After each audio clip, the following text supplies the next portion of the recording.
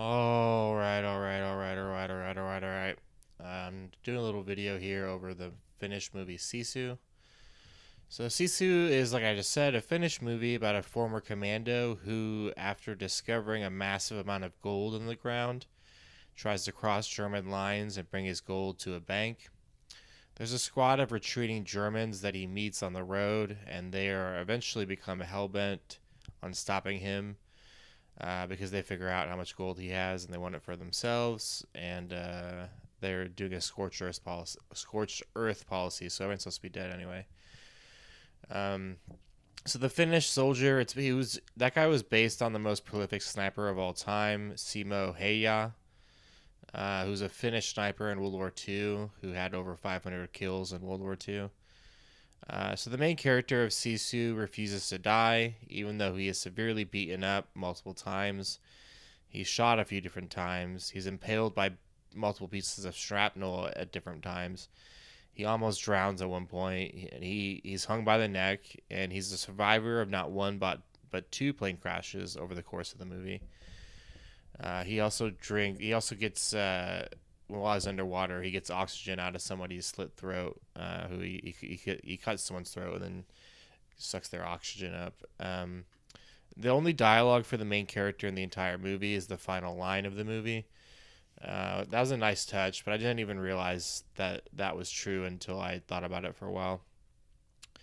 So yeah, the German soldiers. Uh, there are some women in the movie, so it's basically the the cast is basically just the Finnish commando, the squad of German soldiers, and then a group of about eight women. It's a pretty small cast. There's no extras. It's kind of a it's everything's pretty sparse.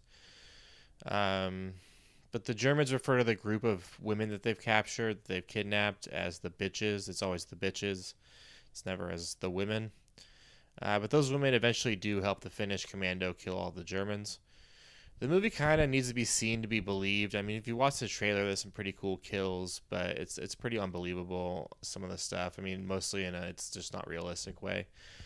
Uh, it's a super ridiculous movie. It's definitely quirky, and it's one of the most unbelievable movies I've ever seen. Like, if you have trouble suspending your disbelief, uh, you'll you won't like this movie.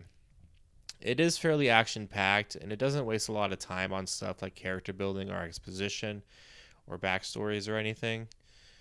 Uh, the nature shots in the movie were a highlight of the movie for me. There's some really cool shots of um, the Finnish countryside. Um, and there there are some cool depictions of how the Nazis uh, did a scorched earth policy as they retreated out of Finland.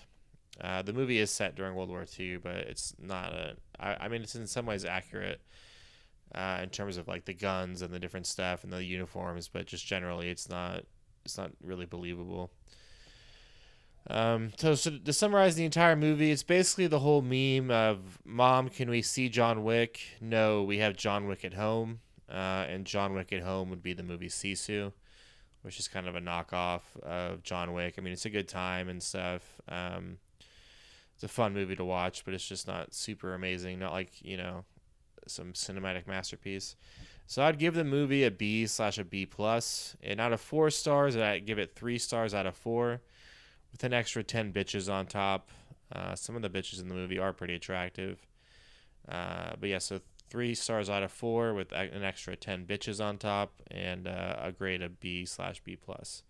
Thank you. Like and subscribe, please.